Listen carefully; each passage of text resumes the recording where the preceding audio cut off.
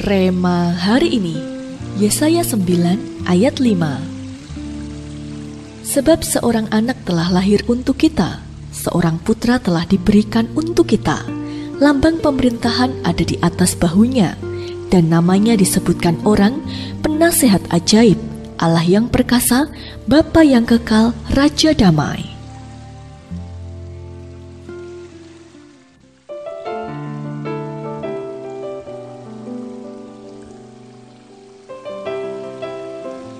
Suatu kali, Pastor Jonathan pernah menyampaikan kesaksian ketika pertama kali pandemi COVID-19 melanda seluruh dunia dengan dahsyat di tahun 2020. Kita semua waktu itu sangat kaget luar biasa, karena tidak pernah terjadi sebelumnya, di mana seluruh dunia mengalami lockdown besar-besaran. Kita semua dicekam dengan ketakutan dan kecemasan yang dahsyat.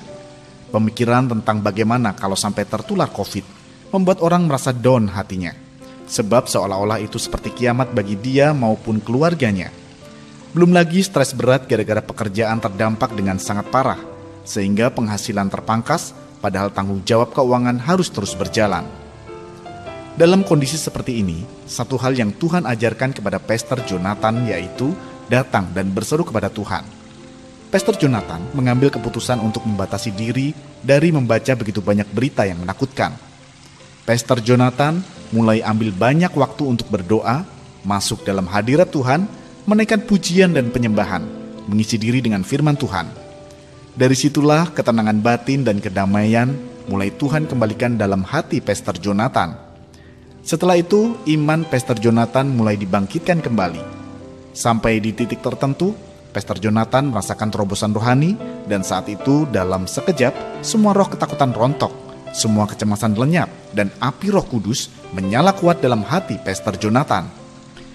Inilah salah satu contoh langkah tepat yang bisa kita lihat dan juga praktekkan. Tuhan adalah sang konselor sejati.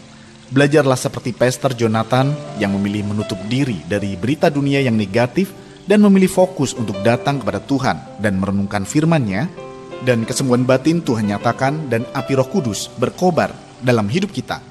Saat itulah kita akan mengalami terobosan demi terobosan dan kemerdekaan demi kemerdekaan yang luar biasa dalam hidup kita.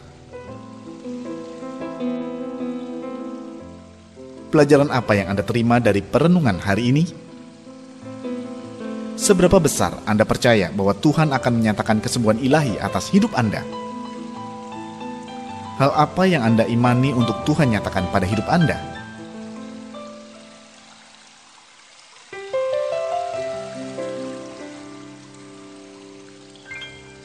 Tuhan, kami mau teguh dalam iman kami bahwa kesembuhan batin telah Engkau nyatakan atas kami.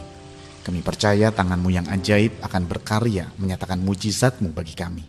Di dalam nama Tuhan Yesus kami berdoa. Amin.